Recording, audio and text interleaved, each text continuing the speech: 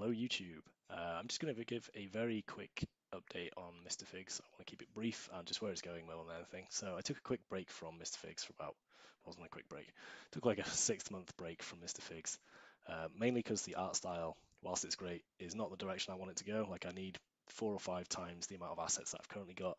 And for that to happen, it's going to come in-house, i.e. this guy is going to um, be doing all the art. My art chops aren't great, but you know it'll allow me to iterate faster and just get way more content in there. And the hope is that in the years that I'm developing this, my art chops will get up to the point where you know they kind of match what they were. So without further ado, let me just explain where we're up to anyway. So the game is exactly the same ish. Main menu is the same, main character is the same, plot is the same, and yeah. But here we go. Here's the here's the twist. Is uh is me. um, so I've added in a world select and a level select because content. We need lots of content. So there are four worlds at the moment, and hopefully I'm aiming for like 10 to 20 levels per world. We'll see. Um, but if I just go through and play like the last two levels, you'll kind of see like you know, this is all my art, with the exception of like a few uh, tiles done by a friend maybe like eight years ago, um, just for one-off kind of things. Um, ignore the horrible screen shake. That's just me testing things. But anyway, um, taking it in-house so that I can just add exactly what I want without having to explain to other people. I'm very much a, you know, I'll just fuck off, I'll do it all kind of thing. So kind of guy. So that's that's me, and that's what I'm doing. Um, and then one of the reasons for this is because previously, go, you can see now.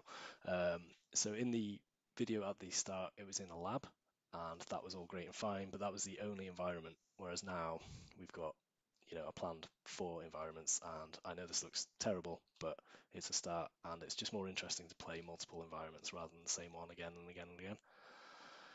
So that is basically the update is Mr. Figs is still in development. Um, the art style is going to get worse before it gets better, just whilst my chops increase. And I think that's it. And oh yeah, and obviously with this, uh, me taking on the art, it means a lot more content. So the next video I plan on doing is a in-depth-ish video on the portals in Mr. Figs, just because I find them kind of interesting and uh, without dive like going into it too much, there's not much Pygame resources past like here's how to make pong, which is very uninspiring. Um, you know, there's there's the fluffy potato guy, um, and I'm sure there's a few others, but I don't really follow them. Um, but you know, most of the Pygame tutorials or just in-depth dives are there.